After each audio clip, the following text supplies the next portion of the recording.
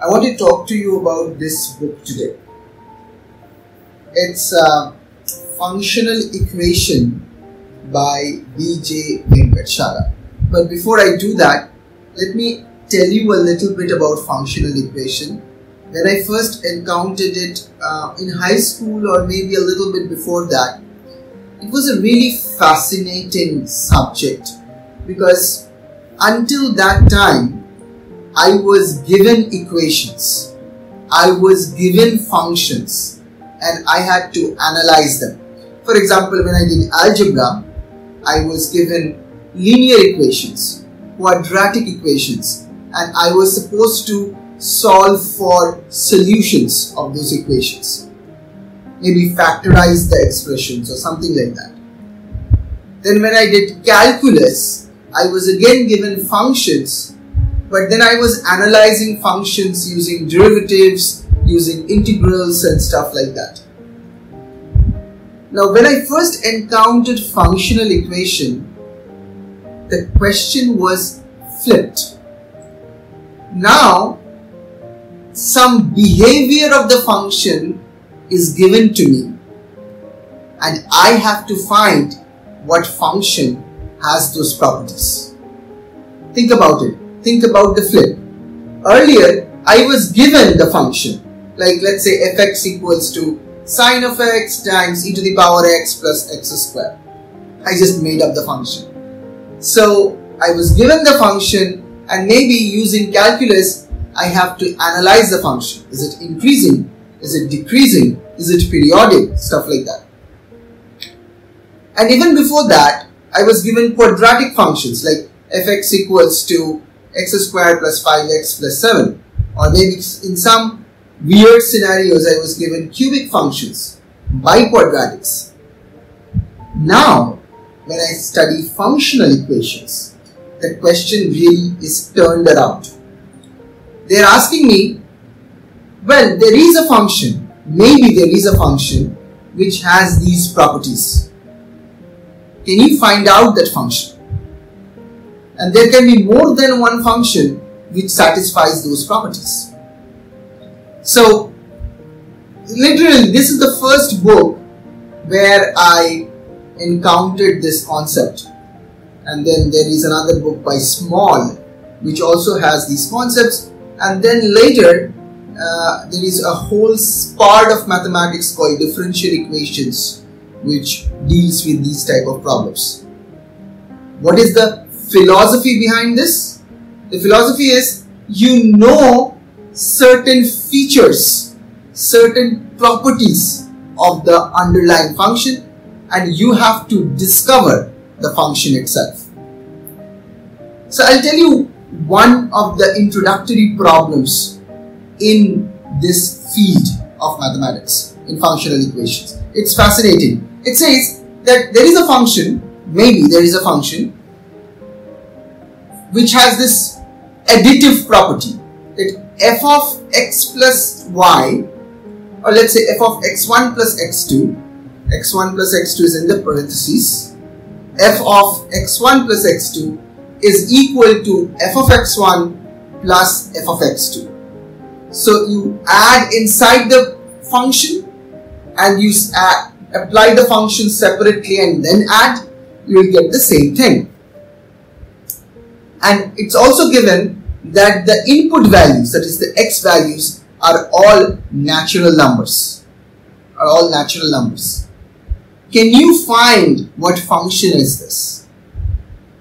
Turns out that there are infinitely many functions like that but all of them are linear functions. That is fx equals to some constant times x. That's what a linear function is. In fact, instead of natural numbers as input, if you take integers as input, you change the domain of the function, you use integers as input, the answer remains same.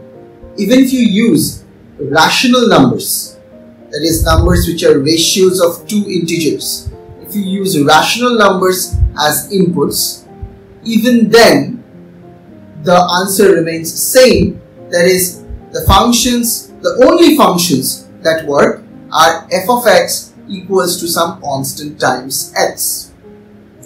Now things change when you are in irrational numbers. So not up to rational numbers it's f of x equals to some constant times x but when you allow irrational numbers to be inputs you need some extra condition on the function.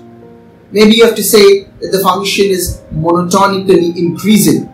That is, as you, as you increase the value of x, the output value that f of x is also increasing. Maybe you have to give this condition that the function is continuous at a certain point. So, if you impose these additional conditions, if you impose these additional conditions, then again f of x is equal to some constant times x. And otherwise, there are some functions which you cannot really write down, but you can prove the existence of such functions which are not constant times x, like f of x is constant. That's not what they look like. It's fascinating and it's very detail oriented. It's very, uh, you have to think like a professional mathematician when you are dealing with functional equations. And that is the part of this subject that I really like. That when you, and, and all of this is in this particular book, uh, Functional Equation by Venkatachala. You can look into it and learn a lot from it. As, a, as an exercise, why don't you do the easy case? f of x plus y equals to f of x plus f of y and all the inputs are natural numbers. Show that f of x is equals to some constant times x. If you can do it, you can put a comment in the comment section. There is one other part of mathematics that is deeply connected with this. Actually, several parts of mathematics are, but one other part that immediately comes to mind is group theory. So in the mathematical Olympiad programs at Cheenta, we include some of those ideas as well because it tells you where these beautiful problems are coming from. For example, in this particular case, this was known as a Cauchy's functional equation. The function with features like additive features f of x plus y equals to f of x plus f of y. In group theory language, this is known as a homomorphism, group homomorphism. And if you once you start seeing the same topic that you see in functional equations in a little one step up higher from the group theorist's point of view and you can do that uh, even at school level you should do that even at school level if you want to have a broader perspective then you then a new world sort of opens up and you see different features of the homomorphisms in group theory in the functional equation questions.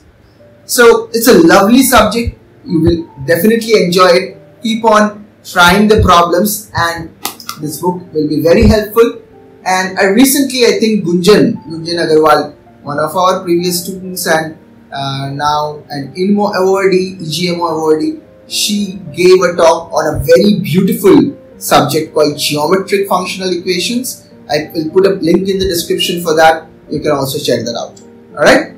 Uh, stay well, stay happy, and keep on doing beautiful mathematics. I will see you in the next video.